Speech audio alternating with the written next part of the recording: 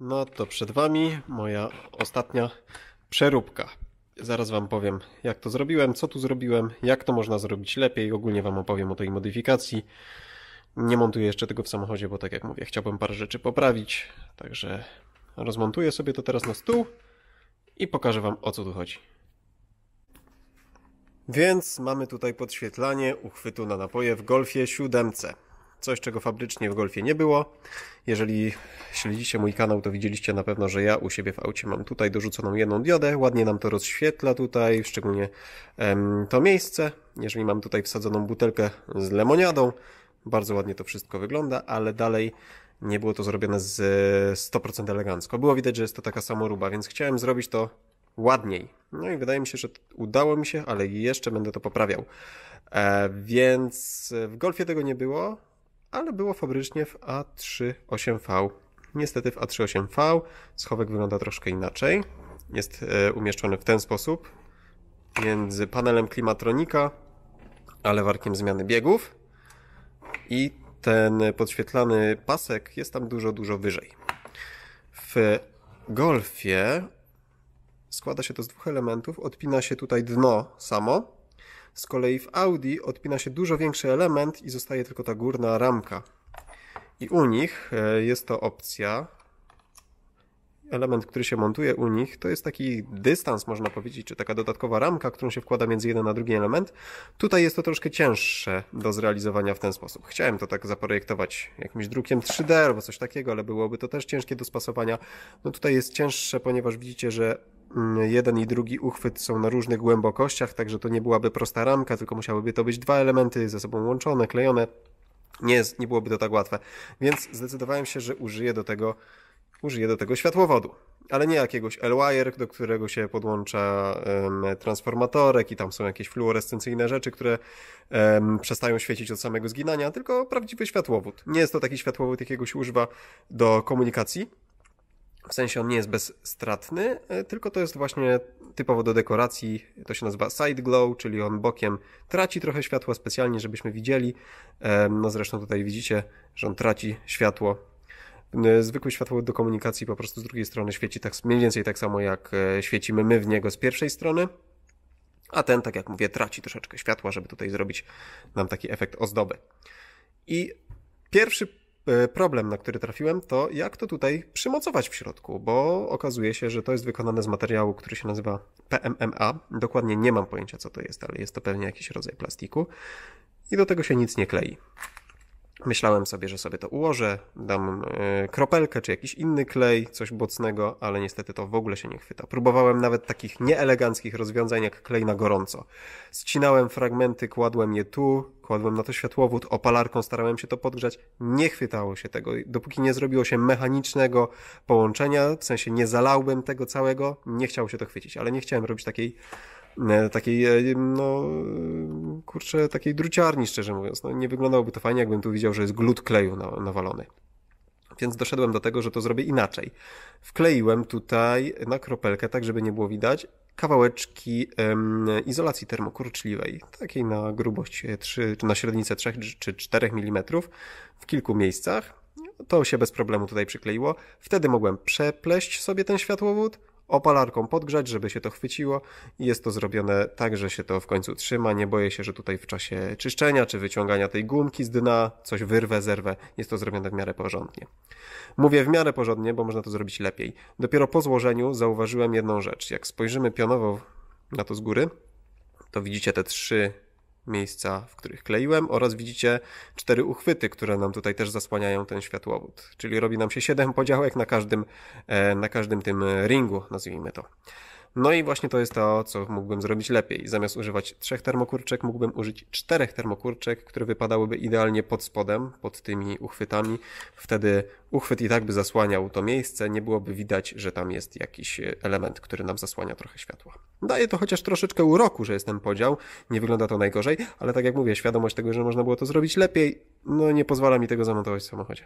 Prawdopodobnie to rozbiorę i zrobię jeszcze raz po prostu. Dobra, jak już będziecie mieć to przymocowane, e, to trzeba to jeszcze podświetlić. Aha, no i po e, odpięciu tego dna od reszty uchwytu, Tu macie 8 zatrzasków, które się y, delikatnie trzeba oczywiście odgiąć, żeby to wszystko zdjąć. Małą taką precyzyjną wiertareczką, to się chyba Dremel nazywa, zrobiłem sobie jeszcze takie mm, małe freziki, dzięki którym mogłem bez problemu ten światłowód wyprowadzić na zewnątrz uchwytu. Tutaj go widzicie, jak on się świeci.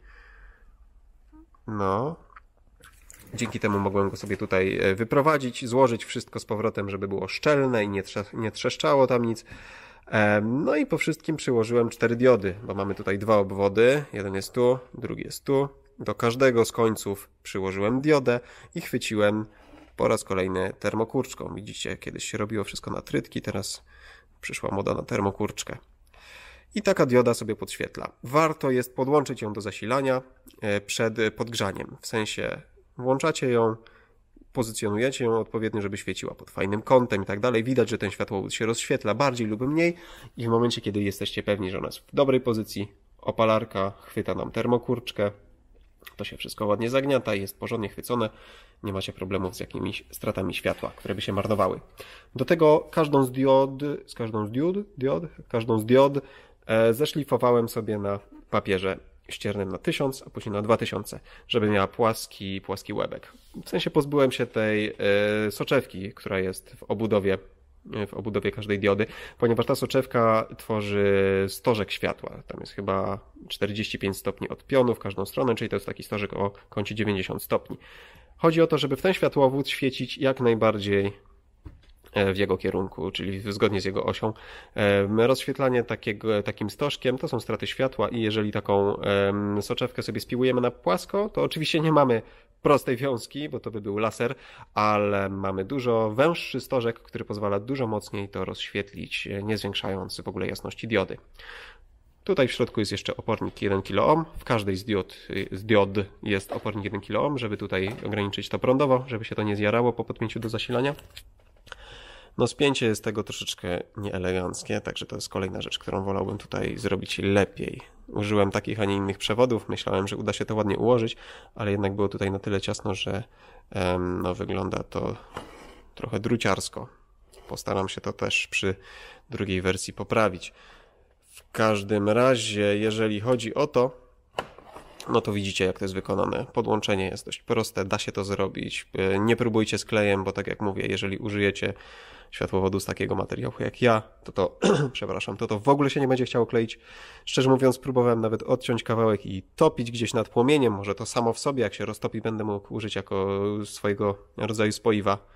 Nie ma mowy. Trzeba to mechanicznie połączyć po prostu. No i co jeszcze? Aha, no podpięcie na koniec nam zostaje.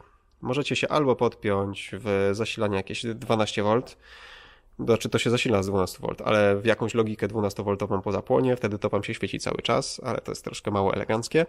Możecie się podpiąć w terminal 58, czyli w podświetlenie deski rozdzielczej. Macie to w gniazdku zapalniczki, nawet jeżeli macie niepodświetlane gniazdko zapalniczki, to jest tam to wyprowadzone. Dzięki temu będziecie mogli regulować jasność tego razem z regulacją e, deski rozdzielczej, czyli przycisków, radia, zegarów na kierownicy, w drzwiach i tak dalej. Wszystko się będzie ładnie ściemniało i rozjaśniało razem z tym. Oraz tam macie taką funkcję jak płynne wygaszanie i rozjaśnianie przy włączeniu zapłonu, więc to też będzie dodatkowy bajer. Albo możecie zrobić tak jak w Audi. Ja to planuję, o ile mi pozwoli na to moduł, bo podpina się to do modułu BCM, do osobnego obwodu. I w tym osobnym obwodzie jest takie coś jak właśnie oświetlenie deski rozdzielczej, w sensie można tam takie coś aktywować. Jeżeli będzie odpowiedni pin, to tam się to wpina. Um, trzeba oczywiście sobie zagnieść tutaj konektor, z tego BCM-a wyciągnąć wtyczkę, tam się dopiąć. Generalnie procedura jest taka sama jak przy dokładaniu oświetlenia yy, na dywaniki, którego też nie miałem w aucie, też dokładałem, więc już jestem troszkę mądrzejszy, jeżeli chodzi o to, jak to dołożyć. No i jeżeli podepniecie to tak jak w Audi pod osobny pin, to wtedy macie osobną regulację tego e, oświetlenia. Warto też wtedy chyba sobie przepiąć te oświetlenie zapalniczki, jeżeli macie zapalniczkę z tym białym ringiem świecącym, pod ten sam obwód, żeby to jednak miało wspólną logikę tego, jak to się rozświetla.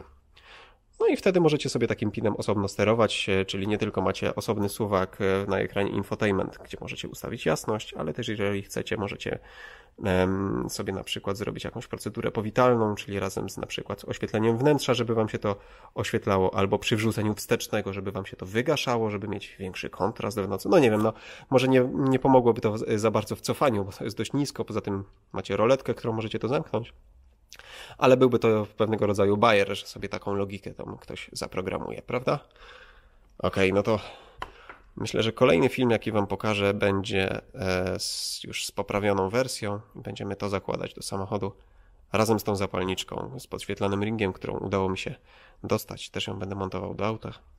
Już się nie mogę doczekać swoją drogą, bo montaż zapalniczki w grupie Volkswagena to jest jakiś, jakaś zemsta złego inżyniera tak naprawdę. Wszystko jeżeli chodzi o konsolę środkową. W Golfie 7 da się rozebrać mając jednego Torxa i y, zgrabne ręce, że tak powiem, albo jakąś plastikową łyżkę do podważania plastików. Wszystko oprócz tej zapalniczki, do której przewidział ktoś specjalne narzędzie, które wygląda jak wyjmak do łożysk. No, pewnie da się to zrobić płaskimi śrubokrętami. Jak się ma szczęście, to się nawet niczego nie zepsuje.